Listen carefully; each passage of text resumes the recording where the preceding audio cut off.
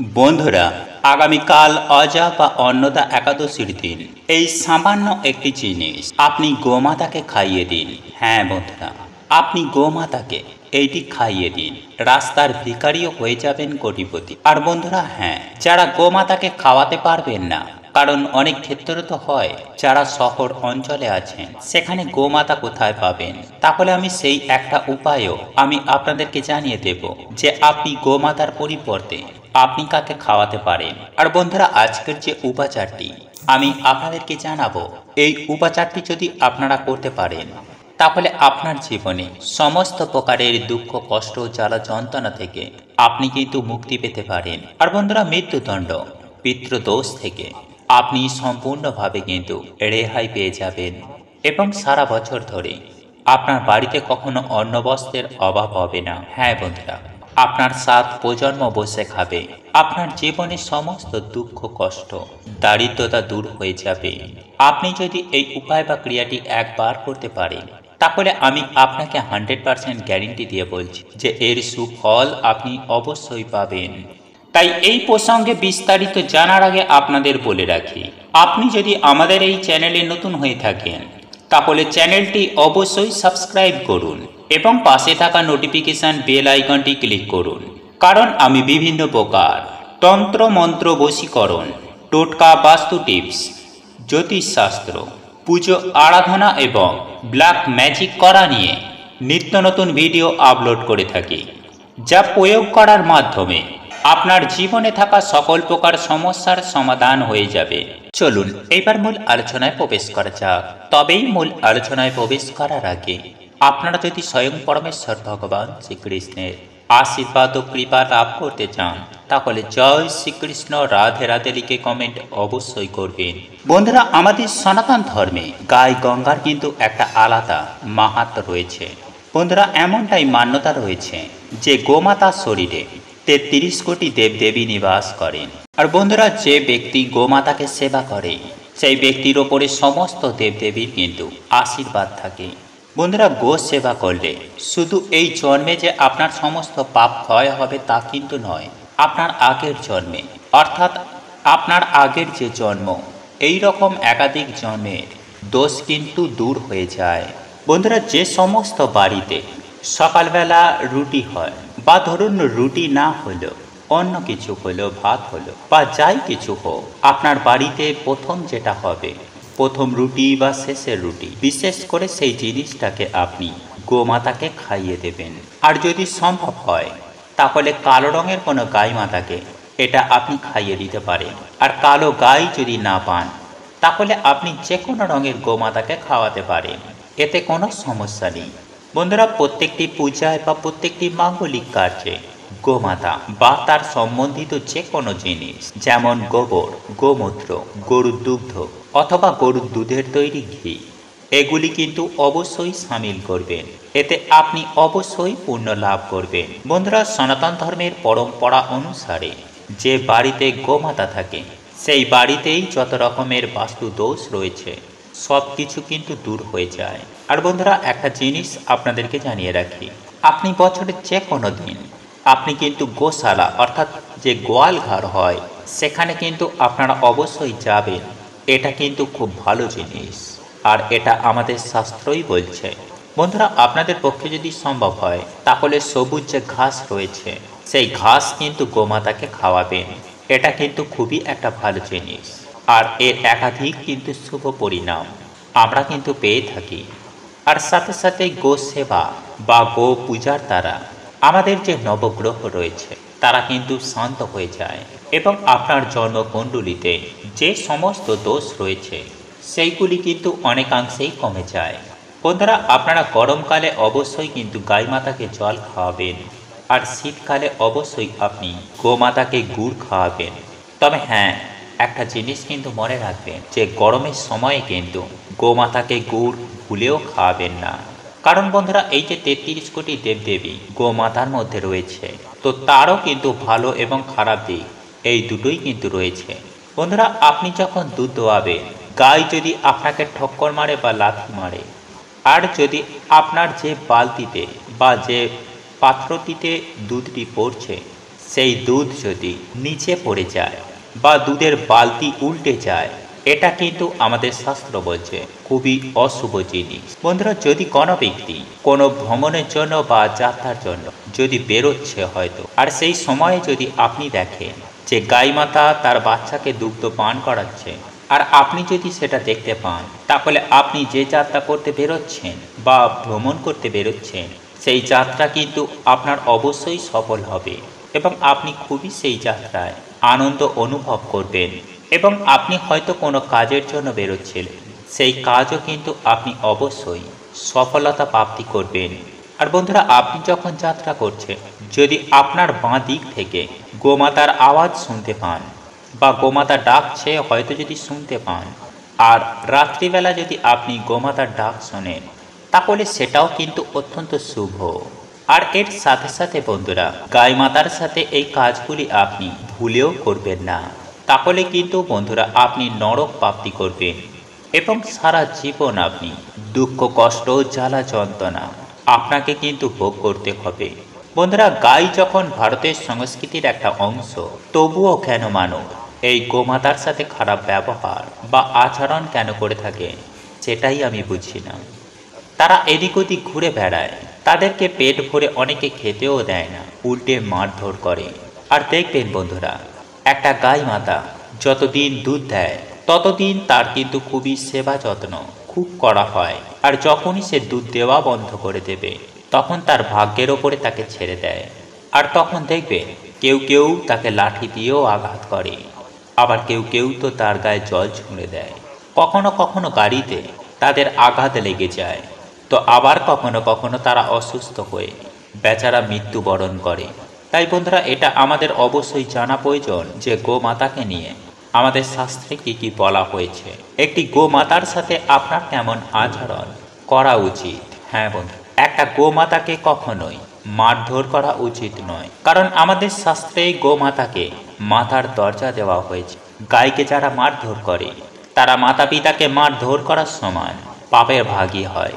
আর এমন ব্যক্তিকে নরকে একাধিক বছর পর্যন্ত তাদেরকে কিন্তু কষ্ট ভোগ করতে হয়।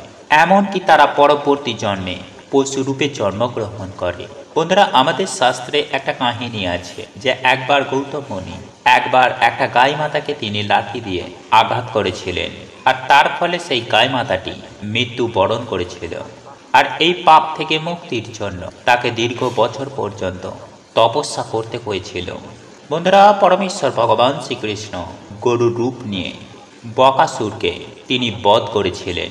তারপর মুক্তির জন্য ভগবান শ্রীকৃষ্ণকে সম্পূর্ণ তীর্থকে এক কুণ্ডে তাকে আনতে হয়েছিল। আর এই কুণ্ডে সে স্নান করে পাপ মুক্ত হয়েছিল। সাথে সাথে যে সমস্ত মানুষেরা একটা গাই মাতা যখন জল খাচ্ছে, সেই অবস্থায় যখন তাকে তাড়িয়ে দেওয়া হয়, সে ঘোর পাপের ভাগী হয়ে নরক ভোগ করে। এমনটাই আমাদের পুরাণে বলা হয়েছে। আর যেখানে যে ব্যক্তি গোমাতার জন্য ঘাস খাওয়ায় খাবারের বন্দোবস্ত করে, আদর করে, গোমাতাকে স্নেহ করে। তারা কিন্তু মহাভাগ্যবান হন। এমন ব্যক্তিরা একাধিক পাপ থেকে মুক্ত হয়ে স্বর্গ লাভ করে এবং তারপরে তারা কোনো কোটিপতির বাড়িতে জন্ম নিয়ে একাধিক সুখ সুবিধা তারা কিন্তু ভোগ করে। এর সাথে বন্ধুরা, যে সমস্ত মানুষেরা দেখবেন কোনো গায়ে মাতা হয়তো শুয়ে আছে, আরাম করছে, তাকে খুঁচিয়ে খুঁচিয়ে তাকে তুলে দেয়। আর এমনটা করা কিন্তু একদমই উচিত নয়। বন্ধুরা, আমাদের শাস্ত্র বলছে, যেখানে গায়ে মাতা শুয়ে থাকে বা বিশ্রাম নেয়, সেখানে কিন্তু কোনো নেগেটিভ শক্তি প্রবেশও করতে পারে না। আর গোমাতা যেখানে শুয়ে থাকে বা গোয়াল ঘরে যেখানে থাকে, সেই স্থানটি যদি আপনি পরিষ্কার, পরিচ্ছন্ন রাখতে পারেন, তাহলে আপনি যদি অজান্তেই পূর্ব জন্মে কোনো পাপ যদি করে থাকেন, সেই সমস্ত পাপ থেকে আপনি কিন্তু সুনিশ্চিতভাবেই মুক্তি লাভ করবেন। আর একই সঙ্গে বন্ধুরা, আমাদের শাস্ত্রে এটাও বলা হয়েছে যে গরুর দুগ্ধ কিন্তু শুধুমাত্র তার সন্তানের জন্য। একটা বাছুর যখন দুধ খাওয়ার পরে যে দুগ্ধটা অবশিষ্ট থাকবে, আপনাকে সেই দুগ্ধটা নেওয়া প্রয়োজন। কিন্তু বন্ধুরা, এমন কিছু মানুষ আছে যে একবার কোনো রকমভাবে বাছুরকে দুধ খাইয়ে দিয়ে তারপরে বাকি সব দুধটুকু তারা নিয়ে নেয়। কেননা অর্থ রোজগারের জন্য। বন্ধুরা, এমনটা করা কিন্তু ঘোর পাপ। আর এমন দুধ যে দুইছে এবং যে গ্রহণ করছে, এরা দুজনেই কিন্তু পাপের ভাগী হয়। একই সঙ্গে বন্ধুরা, আমাদের শাস্ত্রে এটাও বলা হয়েছে যে গোমাতা ও ষাঁড়ের পিঠের ওপরে কিন্তু কখনোই বসা উচিত নয়। কারণ বন্ধুরা, এদের পিঠের ওপরে বসলে কিন্তু আপনার কিন্তু ঘোর পাপ লাগবে। আর এমন ব্যক্তিকে নরকে গিয়ে একাধিক প্রকারের শাস্তি ভোগ করতে হয়। আর আমাদের শাস্ত্রকে গোদানকে খুবই মাহাত্ম দেওয়া হয়েছে। কিন্তু বন্ধুরা, এমন গোমাতাকে কখনোই কিন্তু দান করা উচিত নয় যে গাই হয়তো অসুস্থ, হয়তো বৃদ্ধ হয়ে গেছে। তাই বন্ধুরা, যে গাই হয়তো দুধ দিচ্ছে এবং বাচ্চা সমেত আপনারা তাকে দান করে দিচ্ছেন, তারা কিন্তু মহান পুণ্য লাভ করেন। আর বন্ধুরা, যাদের বৃত্ত দোষ রয়েছে তারা বিশেষ করে একাদশীর দিনকে, অথবা কোনো পূর্ণিমার দিন, কিংবা কোনো অমাবস্যার দিনে, রুটি, গুড় এবং সবুজ ঘাস। আপনারা যদি গোমাতাকে খাওয়াতে পারেন, তাহলে আপনার যে পিত্ত দোষ রয়েছে, তা কিন্তু সুনিশ্চিতভাবে দূর হয়ে যাবে। আর বন্ধুরা, আপনি হয়তো কোথাও যাচ্ছেন, তখন সেই সময় দেখতে পেলেন যে একটা গাই মাতা আপনার দিকে এগিয়ে আসছে। তখন আপনি সেই গোমাতাকে আপনার ডান দিক দিয়ে বেরোতে দেবেন। তাহলে এতে আপনার যাত্রা কিন্তু অত্যন্ত শুভ হবে। আর একটা জিনিস বন্ধুরা মনে রাখবেন, যে গোমাতাকে আপনি যে রুটিটা খাওয়াবেন, সেই রুটিটা কিন্তু অবশ্যই টাটকা হওয়া প্রয়োজন। হয়তো আপনি আগের দিন রুটি করেছিলেন, আর সেই বাসি রুটি আপনি সকালবেলা খাইয়ে দিলেন। এটা কিন্তু আপনারা একদম করবেন না। এতে কিন্তু বাড়িতে একটা নেগেটিভ শক্তি প্রবেশ করে। আর আপনার যে কার্য যে কার্য হওয়ার ছিল, সেই কাজে কিন্তু বাধা পড়ে যাবে। দেখবেন, হওয়া কাজ কিন্তু একদম হতে চাইছে না। যাই হোক বন্ধুরা, একই সঙ্গে আপনারা আরও একটি বিষয় মাথায় রাখবেন। যে সমস্ত গোলা জিনিস হয় বা পচা জিনিস হয়, সেই সমস্ত পচা গলা জিনিস খাওয়াবেন না। বন্ধুরা, আপনার বাড়িতে হয়তো কোনো ফল রয়েছে বা সবজি রয়েছে, সেটা হয়তো পচে গলে গেছে। সেটা গোমাতাকে খাইয়ে দিলেন। অনেকেই এই কাজটা করে থাকেন, কিন্তু এই কাজটি করা একদমই উচিত নয়। কারণ এটা মনে রাখবেন যে আপনি গোমাতাকে খাওয়াচ্ছেন মানে আপনি তেত্রিশ কোটি দেবদেবীকে খাওয়াচ্ছেন, আর এটা কিন্তু অবশ্যই মাথায় রাখবেন। বন্ধুরা, একই সঙ্গে আরও একটা জিনিস কিন্তু আপনি করতে পারেন, সেটি হলো, বন্ধুরা, আপনি এগারোটা আটার গুলি মতো বানাবেন এবং তাতে একটু হলুদ দেবেন। তারপর আপনি যে এগারোটি আটার লাড্ডু বানিয়েছেন, সেই লাড্ডুকে এক এক করে আপনি গোমাতাকে খাইয়ে দেবেন। আর যতবার আপনি এই এগারোটি আটার লাড্ডু খাওয়াবেন, ততবারই আপনি গোমাতার যে শিং রয়েছে, সেই শিঙেতে হাত বোলাবেন, মাথায় হাত বুলাবেন এবং চেষ্টা করবেন গোমাতার চরণ স্পর্শ করার। বন্ধুরা, আপনি যদি এমনটা করতে পারেন, তাহলে আপনার যে এতদিন কাজে বাধা পড়ছিল সেখান থেকে কিন্তু আপনি অনেকাংশেই, আপনি কিন্তু মুক্তি পাবেন। বন্ধুরা, আপনার যে এখন দুঃখের সময় চলছে, তাহলে সেটাও দেখবেন অনেকাংশেই কমে যাবে। দেখবেন আপনার জীবনে সুখ, শান্তি, ধন সম্পত্তি এবং খুশি আর খুশি আসবে। যাই হোক বন্ধুরা, একই সঙ্গে আপনারা সাতবার গাই মাতাকে পরিক্রমা করবেন। এতেও দেখবেন আপনার যে সমস্ত কাজে বাধা পড়ছিল, সেই সমস্ত কাজগুলি অবশ্যই আপনার হয়ে যাবে। বন্ধুরা, আপনি যখনই গোমাতাকে রুটি খাওয়াবেন, সেই রুটিতে একটুখানি হলুদ মাখিয়ে নেবেন। হ্যাঁ বন্ধুরা, আপনার ঘরে যে হলুদ রয়েছে, সেই হলুদ একটুখানি মাখিয়ে নেবেন, বুলিয়ে নেবেন। তার সঙ্গে আপনি একটুখানি গুড় লাগিয়ে দেবেন। তবে হ্যাঁ এটা শুধুমাত্র কিন্তু শীতকালের জন্য, এই গুড় মাখার ব্যাপারটা। এমনি সময়ে আপনি শুধু রুটি খাওয়াতে পারেন। এবং এই গুড়ের বদলে আপনি একটু ঘি রাখতে পারেন। কারণ বন্ধুরা, আমাদের শাস্ত্রে এটাও বলা হয়েছে যে গোমাতাকে কখনো শুকনো রুটি খাওয়াবেন না। মুদ্রা কথা হলো, আপনি যে গোমাতাকে রুটি খাওয়াবেন সেই রুটি যেন শুধু রুটি না হয়, সেই রুটির সঙ্গে যেন আর কিছু অন্তত থাকে। তো বন্ধুরা, এইগুলি ছিল গোমাতার জন্য। বন্ধুরা, এইবার আপনাদেরকে বলে রাখি যে আমাদের মধ্যে অনেকেই শহরাঞ্চলে রয়েছে। সেখানে তো আর গোমাতা নেই। তারা কি করবে? বন্ধুরা, এই যে উপাচারগুলি বললাম, গোমাতা না থাকলে সেটা কি করবেন আপনি? সেখানে হয়তো কুকুর থেকে থাকবে। বা শহর অঞ্চলে অনেক বাড়িতেই দেখা যায় যে কুকুর তারা পোষে বা না পুষে থাকলেও অলিতে গলিতে রাস্তাতে অনেক কুকুর থেকে থাকে। আপনারা তাদেরকে খাইয়ে দেবেন রুটি। তবে বিশেষ করে চেষ্টা করবে যদি কোনো কালো রঙের কুকুর পান, তাকে খাওয়ানোর। বন্ধুরা, আপনারা এই উপায় বা ক্রিয়াটি একবার করে দেখুন। আমি আপনাদেরকে সুনিশ্চিতভাবে কথা দিতে পারি যে এই উপায় বা ক্রিয়াটি করার ফলে আপনাদের জীবনে সুখ, শান্তি, সমৃদ্ধি আসবে। এক কথায় বলতে গেলে, রাতারাতি আপনাদের ভাগ্য বদলে যাবে। বন্ধুরা, আপনাদের এই ভিডিওটি যদি পছন্দ হয়ে থাকে, তাহলে ভিডিওটি লাইক করুন, কমেন্ট করুন এবং বন্ধুদের সাথে শেয়ার অবশ্যই করুন। মনে রাখবেন, আপনার একটি শেয়ার অনেক মানুষকে উপকৃত করতে পারে।